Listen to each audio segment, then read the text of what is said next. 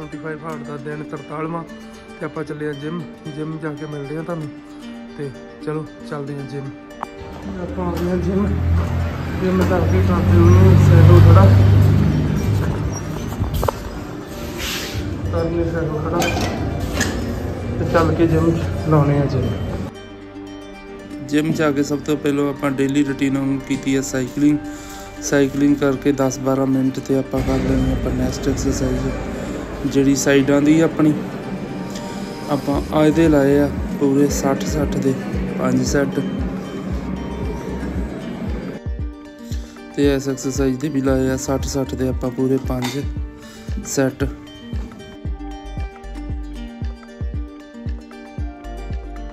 ਉਸ ਤੋਂ ਬਾਅਦ ਚਾ ਵੀ ਸਾਈਡ ਵਾਲੀ ਐਕਸਰਸਾਈਜ਼ ਆ ਤੇ ਇਹਦੇ ਵੀ ਲਾਏ ਆਪਾਂ 15 15 ਦੇ, ਪੂਰੇ 4 ਸੈੱਟ।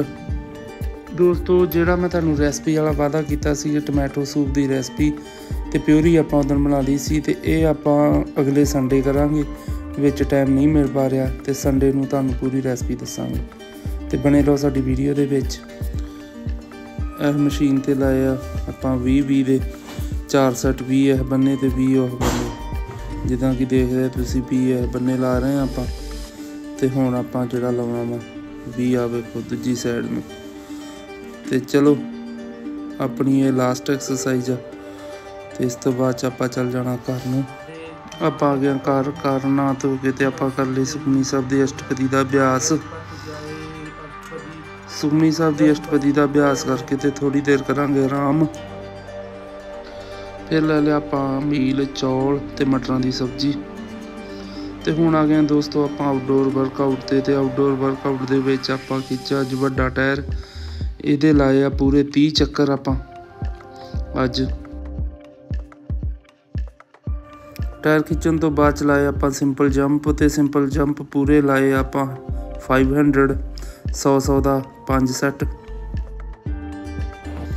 ਫਿਰ ਉਸ ਤੋਂ ਬਾਅਦ ਚ ਜੰਪਾਂ ਤੋਂ ਬਾਅਦ ਚ ਆਪਾਂ ਲਾਈ ਪੀਟੀ ਇਹਦੇ ਲਾਏ 50 50 ਦੇ 4 ਸੈੱਟ ਆਪਾਂ।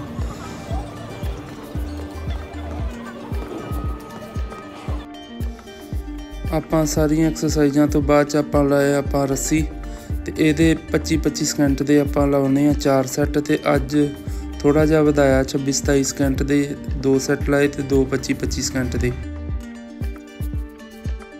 ਆਊਟਡੋਰ ਵਰਕਆਊਟ ਸਮਾਪਤ ਕਰਕੇ ਆਪਾਂ ਆਗੇ ਘਰ ਤਿਆਰ ਹੈ ਅੱਜ ਦੀ ਸੈਲਫੀ ਆ ਆਪਣਾ ਮਾ ਲਾਸਟ ਮੀਲ ਤੇ ਆਪਾਂ ਇਹਨੂੰ ਖਾ ਕੇ ਕਰ ਦੇਣੀ ਆ ਸਮਾਪਤੀ ਮਿਲਦੇ ਆ ਕੱਲ ਨੂੰ।